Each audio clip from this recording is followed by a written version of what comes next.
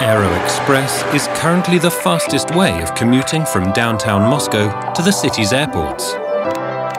The travel time from the Kievsky and Belorusky stations to Vnukovo and Sheremetyevo airports is just 35 minutes, while travel from the Paveletsky station to Domodedovo is 45 minutes.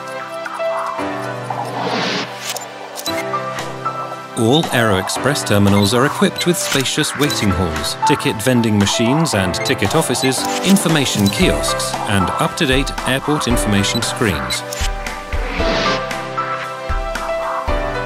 One out of every four passengers travelling to a Moscow airport chooses Aero Express. Over one million people use the company's services every month. Aero Express passenger traffic represents 23.4% of all Moscow airport passenger traffic. In 2012 alone, Aero Express transported approximately 15 million people to Moscow airports. Over the last two years, the company's passenger traffic flow has increased by 46.6%. Aero Express trains currently run in Moscow, Sochi, Vladivostok and Kazan and there are plans for bringing our services to St. Petersburg in the future.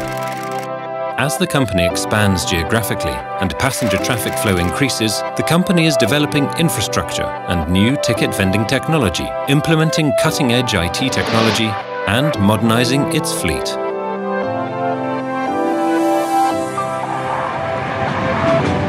In 2015, Aero Express will introduce new double-decker passenger cars from the Swiss manufacturer Stadler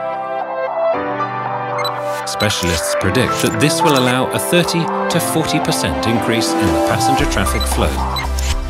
The maximum speed of the new electric trains will reach up to 160 kilometers per hour. The new double-decker passenger cars will be constructed with wider doorways, spacious entrance platforms and accessible stairways, and will be fitted with luggage racks along the entire length of the wagon, as well as additional luggage racks near the entrances, including racks for oversized luggage. They will also be equipped with an ergonomic lighting system, and seats will be distributed so as to ensure a comfortable journey for each and every passenger. Aero Express means ecological, fast and comfortable trains, highly qualified staff and a constantly developing infrastructure. Since 2012, Aero Express rolling stock has been housed in the company's own depot for maintenance and technical service.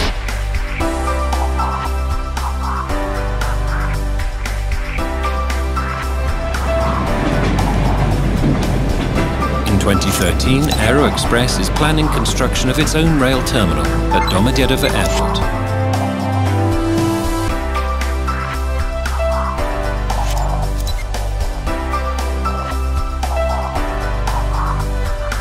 This modern structure, with a planned investment of over 1.3 billion rubles, will meet all the latest requirements and will make arrival at the airport even faster and more comfortable.